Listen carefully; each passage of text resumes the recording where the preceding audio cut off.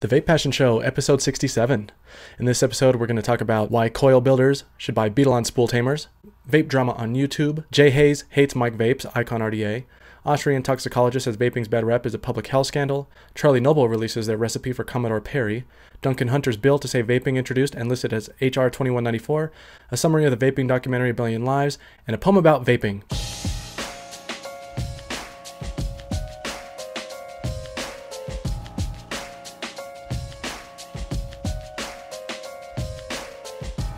Hey, welcome back to the Vape Passion Show. This is episode 67. I'm recording this on Sunday, April 30th. So, first, I want to provide an update on my email newsletter. Usually, my newsletter is just an update of any new posts I put up on my website over the past week. It's a once per week email that goes out on Thursday mornings. It's useful if you want notifications for any new blog posts or videos I've done. Well, I also wanted to add more value to my email subscribers, so last week I tested out adding a new vape deal section. It's basically a list of deals that I've been collecting over the last week, separated out by categories like e-juice, devices, atomizers, and store-wide deals. I want to be transparent and point out that most of these links are affiliate links, which means I'll, I'll get a commission if you buy from them. It doesn't cost you anything extra, and you don't have to use my links if you don't want to, but I'd certainly appreciate it if you think the content that I produce is useful to you. So if you're already a subscriber to my newsletter, keep an eye out for that uh, if it sounds useful to to you. And if you're not a subscriber, uh, go to go subscribe. You'll find the sign up form on my website at vapepassion.com and in the right sidebar. Now, like I mentioned a couple of weeks ago, I'm unsure if I'll be able to keep this vlog slash podcast going once I start school. Since I've announced that, I've actually received quite a few emails and comments from people who have mentioned that they really like the show and want me to keep going. Uh, it's really awesome to get comments like that. When I first started the show, the quality was rough and it still is in my opinion but it gets better with each episode. Um, but in the beginning i got a lot of negative comments about the jump cuts and my voice being too boring and monotone. It was really disheartening but i decided to keep going and, I, and i'm really glad i did. Now i don't have a big following like some of the other reviewers out there but that's okay. Just knowing that i'm at least a little interesting to some people is enough for me so I'm even more motivated now to keep the show going, and I want to thank everyone for their positive emails and comments. Now, I'm not promised anything yet, but I'm going to try hard to keep going, even if it's less than once per week. Anyway, I start school on May 8th, so you'll probably hear more about that in the following weeks. As for any new products, I didn't really get much, but I got some Beadalon spool tamers in this week. So let's take a quick look at them. These are basically adjustable elastic bands that go around wire spools to prevent wire from unwrapping. These were originally designed for crafters who use metal wire, but they work just the same for our purposes. If you build your own coils and have spools of wire laying around, you probably know how much of a pain it is when the spool unravels and wire goes flying all over the place. So these spool tamers prevent that from happening. You just put the end of the wire through the little hole on the spool tamer, wrap the band around the spool, and you can dispense wire as needed without having to worry about the wire unraveling. There's only two cons that I can think of with these. The first con being that the elastic material feels like it's a little old. It might only be the batch that I got, but if you're familiar with old elastic, it eventually starts to break apart. Now, I don't know if that will happen to me, but it's possible. I just thought it was something worth mentioning. The second con is that they don't fit well on tiny spools. And that makes sense though, they aren't going to fit on everything. Uh, most people don't buy tiny spools of wire, so it shouldn't really be an issue for most people. They still work though. I put them on my tiny spools and they work, they just don't fit perfectly into the spool. Anyway, these are awesome, and I wish I would have ordered them a long time ago. You can get a pack of 25 from Amazon for only $15, which I think is a good price. All right, the next topic here, vape drama on YouTube. So Jai Haze hates on Mike Vape's Icon RDA. On ST Vape's YouTube channel, The True Vapor Show number 91, Mike Vapes was a guest. At about the 22 minute 10 second mark, ST Vapes mentioned that there was a reviewer who gave the Icon RDA a bad review. Mike Vapes, who helped design the Icon RDA with Vandy Vapes, told the story. So they didn't name the reviewer because they didn't want to give him any publicity, but I did some digging around and I figured it out. And, and, in case you're wondering, it's Jai Haze, who's a fairly popular reviewer on YouTube and also the owner of vapelife.com, life spelled with a one. Mike mentioned that he actually asked Jai to review the icon before it was launched, and then Vandy Vape decided that they wanted to send the sample version to certain reviewers first, then the retail version to other reviewers. Vandy Vapes moved Jai to the retail version list, which meant he wouldn't get an early version. This made Jai mad, and he started calling all of the other reviewers has beens and nobodies, and that he should have been the one to review it. Jai flipped out. He went out and bought one himself and did everything he could to bash it. Now, that's Mike's story. I'm just repeating what he said. Now, I watched this review, and Jai starts out by saying that he has nothing against Mike Vapes, and that he won't let the fact that Mike Vapes is a popular reviewer influence his review he was basically saying that because Mike's is a, such a beloved reviewer on YouTube that everyone was giving his RDA undeserved praise. So I've been subscribed to Jai Haze for a long time now, and it seems pretty clear to me that he's got something against Mike Vapes in this review. He tries to find cons about everything, and even goes as far as to use an infrared temperature sensor on it. He really wanted to find something wrong with it. First, Jai complains about the boxes being identical to the Govad box, which is also made by Vandy Vapes. He also complains about the Vandy Vape logo being on both the Govad and the icon. Now, I'm not sure why this is a con. Both are made by Vandy Vape, and it's common for a manufacturer to use similar packaging and put their logos on all of their products. Then Jai points out that the box says that the icon is innovative, implying that the box and logo show that it's not innovative. Now, I think that's really nitpicky and has nothing to do with the review. Then Jai mentions that the RDA gets extremely hot, he used an infrared temperature gun and tested it after vaping on it and found that it reaches 107 degrees. At first glance, you might think, wow, that's kind of hot. But if you take a second to think about it, that's not really hot at all. I've been using this myself a lot, and it has never gotten so hot on me that it causes discomfort. Now, I don't have an infrared temperature sensor, although I kind of want one now. Uh, I think that's a, a pretty neat non scientific test of how hot an RDA might get with constant use. But anyway, I did a little test of my own to see how hot 170 degrees is. So I got some hot water from my water machine, which comes out at around 160 to 180 degrees or so. I put a thermometer in the water until it reached 110 degrees, I let it sit until it got to 110. So I first tested with my finger, and it felt just a little bit warm, not hot at all. And then I put the water to my lips and let it sit on my lips. It's much warmer on sensitive lips than it is on my finger, but it's still not extremely hot. Definitely not hot enough to feel like it's burning. Then I decided to chain vape the Icon at 100 watts, hotter than what Jai tested it at. And I put my lips right to the metal of the RDA. I even put my lips on the air holes right after vaping, and it still didn't burn my lips. It felt cooler than the water did. Now, I'm not trying to say that the Icon doesn't get hotter than other RDAs because it, it probably does. Jai isn't wrong about that. But he's exaggerating his argument that the Icon gets too hot. Now, I actually like some of Jai's review. He pointed out that he pointed out some legitimate cons that I haven't seen other reviewers mention, but ones that I've noticed myself. For example, he said that the deck look almost identical to the Peerless, except without the walls and the posts. That's true. It's nearly the same. Nothing wrong with that in my opinion. The icon improved on a good design, I think. Jai also mentioned that it's hard to pull off the top cap and that the e-juice comes out of the airflow holes when you turn the top cap. Now I totally agree with that too and, and something I was going to mention in my own review. But then he mentions that the flavor is extremely muted. Now I don't think he's being honest here. The flavor that I get from the Icon is really good, and I'm only using a basic space dual coil build. No Claptons or twist, twisted wire or anything like that. Now, I don't think the flavor is as good as something like the Goon, but it's not far off. To say that the flavor is extremely muted is not being honest. Either that, or he had something wrong with his build or the way he wicked it. Now, in the end, he said that it's worth $30, but he wouldn't buy it, and then he gives it a rating of 6 out of 10. Now, that's not the end of it. Jai actually decided to do another video testing the temperature of various RDAs, one of them obviously being the Icon. He decided to do this after getting flack for saying 107 degrees is extremely hot. But based on my own use of the RDA and the water test that I did, 107 degrees is not hot.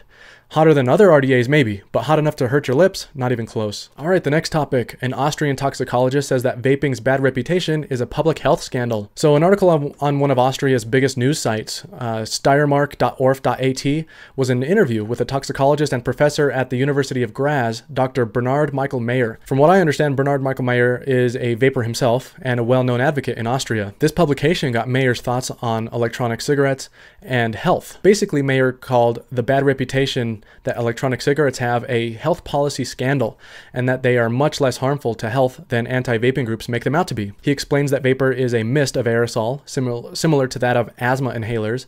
Uh, this aerosol eliminates the entire combustion process that causes harm from tobacco smoke. Mayer points out that nicotine has a bad reputation because it's associated with smoking, but when you isolate the nicotine from smoking, it's relatively harmless. He compares it to caffeine. He also explains that there are already reputable studies that show that when smokers switch entirely to vaping, the toxic substances in their blood return to the same levels as that of a non smoker with only a few weeks. Mayer also talks about his thoughts on how politics play a big part in the bad reputation that electronic cigarettes have. The pharmaceutical industry makes a lot of money from their quit smoking drugs and nicotine replacement products they fight pretty hard to make vaping look bad so that they can continue making money. And then you have the loss in taxes that governments make from tobacco. This massive amount of lost ta- tax money causes governments worldwide to put vaping in a bad light. It pretty much all comes down to money. Now, this isn't really anything that we haven't heard before, but it's great to see a respected doctor, toxicologist, and professor explain to a major news publication why vaping isn't bad. Okay, moving on. Charlie Noble releases their recipe for Commodore Perry. So, Charlie Noble continues making DIYers and their loyal fans happy by releasing yet another recipe from their discontinued product line, this time their flavor called Commodore Perry. The last time they released a recipe, they received a lot of requests for this one. Commodore Perry was already on their list to eventually release, but due to the amounts of requests that they received, they decided to move this one up to the front of the line. The inspiration from this recipe came to uh, Matt Topolsky, the head of R&D at Charlie Noble, after he visited a Latin market and saw a can of pear nectar. He bought some cans of pear nectar and a few pears and got to work on creating the flavor in e-liquid form. The end result wasn't pear nectar, but rather a creamy pear flavor. So here's the recipe. Pear from per Perfumer's Apprentice at 6.5%, Bavarian Cream from Flavor West at 3.5%, French Vanilla V2 from Capella at 1.5%, Coconut from Capella at 1%, and Caramel Candy from Flavor West at 0.5%. Now like the previous recipes, Matt also goes in depth on why he chose the flavors that he did, and this is great insight into the mind of a master mixologist. I'll go into a few interesting highlights. So he says that the Perfumer's Apprentice makes a nearly true pear flavor and that the percentage is high but is balanced out with creams. Flavor West's Bavarian cream works as the cream base and gives a dense mouthfeel. It tastes great and isn't overly sweet. Capella's Vanilla Custard V2 fills out the rest of the cream flavor. It's a gold standard for custards. Capella's French Vanilla V2 works well with pear. It gives the accent needed to make all of the flavors pop. Capella's coconut is a little trick that mostly only seasoned veterans use. Just a tiny bit will make a dairy related flavor taste more realistic. You just don't want to add so much that you can actually taste the coconut. And Flavor West's caramel candy simply adds some more accents. It's a strong flavor and you want to complement the flavors with it, not overtake them. So there you go. It, it's cool to glean little tips like this from DIY like Matt. Um, I like how he explains how he uses just small amounts of flavor to accent and round out flavors while not using enough to detect it. And that tip about using Capella's coconut is really cool. That's definitely going on my shopping list. All right, the next topic here Duncan Hunter's bill to say vaping is introduced and listed as HR 2194. All right, now I just want to give a quick update on the, the Cigarette Smoking Reduction and Electronic Vapor Alternatives Act proposed by Duncan Hunter.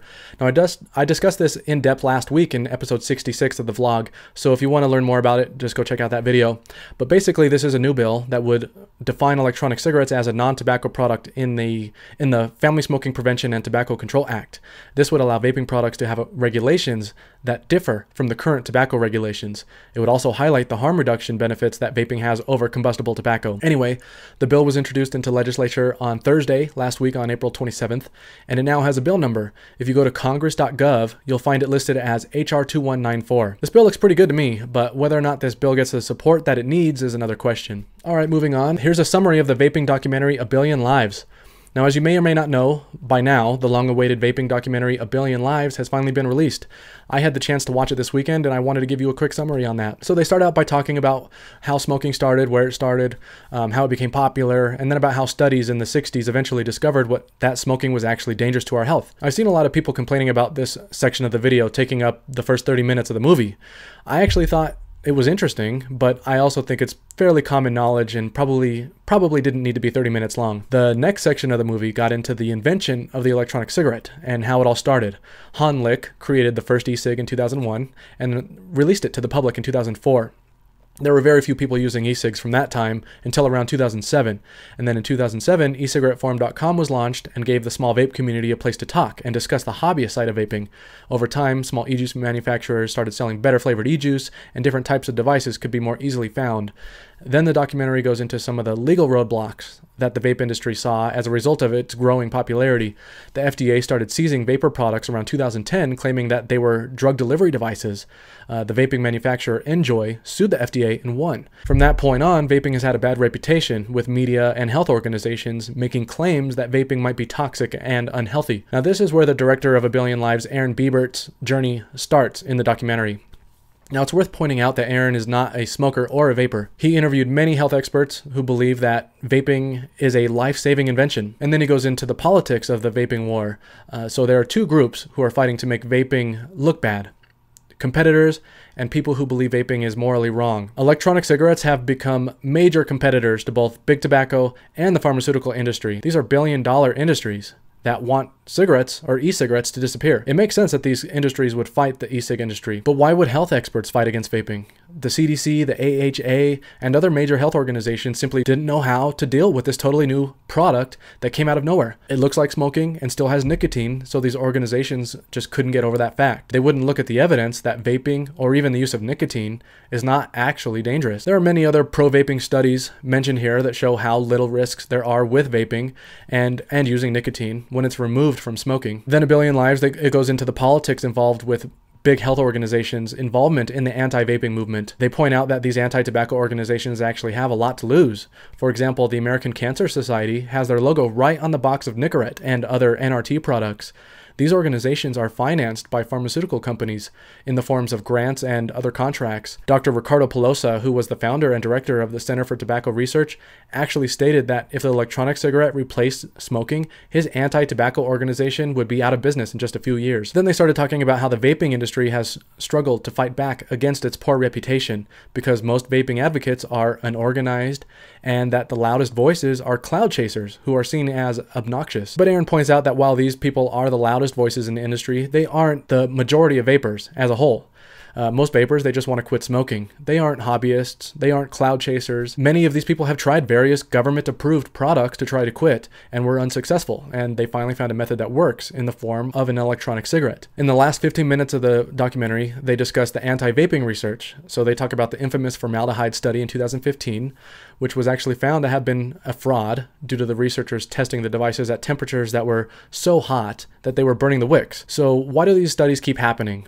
Well, it's because these researchers are mostly funded by the government, which is actually illegal. The CDC, for example, has used taxpayer money to fund anti vaping research in the form of grants. They've even been warned for doing this, but it continues to happen. So, research teams, they take this money, they get the results that these organizations want so that they continue to be funded again in the future. The documentary closes out with serious concerns that people have with the vaping industry slowly being regulated out of existence around the world. For example, Australia has banned nicotine containing e juice, Poland is enacting legislation legislation, and the FDA has estimated that more than 98% of vaping products will be banned due to their legislation. And many other countries are doing the same, all without looking or choosing to ignore the evidence that vaping can help save lives. So that's about it. I think that's probably a fairly in depth summary of the documentary, but there's a lot more to see, so I definitely re- recommend watching it yourself. Now, I've seen comments around the web complaining that, th- that the documentary didn't provide an opposing view of vaping, uh, but they actually did try to get comments from the Centers for Disease Control, the FDA, American Cancer Society, American American Heart Association, the American Lung Association, and even what the well-known vaping opponent Dr. Stanton Glantz, and all of them declined to comment. So Anyway, I went into this expecting that I was going to dislike the documentary. Um, I thought it was going to be overly biased, but I don't think it was. It's it's certainly biased to some degree, but you know that's to be expected of most documentaries. Their goal was to show the benefits of vaping, the corrupt, the corruption of anti-tobacco movement, and they did just that. The biggest problem that I found with the film is that it didn't have any sort of call to action for the viewer. All throughout the documentary, they portray the dangers that the industry is facing, but they never really explained what someone could do to stop it. I also don't think that the seriousness of the situation was displayed strongly enough. I get the feeling that someone outside of the vaping community would watch this and then not feel urged to do anything about it. The film made it seem as if there's practically nothing anyone could do to save vaping. But I do think that they did a decent job of convincing a smoker that vaping is a much safer alternative to smoking and a method that might help them kick the habit for good. So I do recommend giving this a watch. I enjoyed it, and I would also suggest that you show it to anyone you know who smokes or to non-smokers who that you know who think that vaping is dangerous. You can buy a digital copy for $10 or you can rent it for about 3 to $4.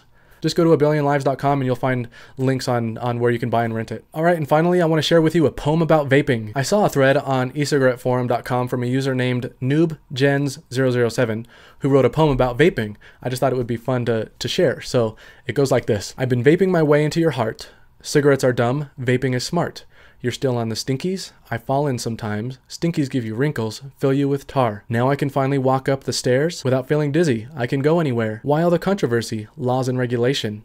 I hope there are places for vapors in heaven. Okay, so that's all I have for this week. You'll find the show notes for this episode on vapepassion.com. Just do a search for episode 67. If you want to support the show, consider donating to my Patreon page at patreon.com slash vapepassion. You can follow me on Twitter at vapepassion, and I'm also on Facebook if you want to leave me a comment. If you like this weekly show, please consider giving me a thumbs up on the video and subscribe to my channel if you're not already a subscriber.